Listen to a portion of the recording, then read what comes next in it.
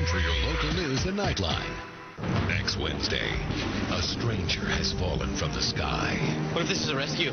What if she came for us? But the promise of rescue is only the beginning.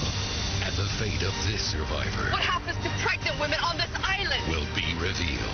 There are only four episodes left until the season finale, and you can't miss one. I lose either way. An all new Lost. Next Wednesday at 10, 9 central, only on ABC.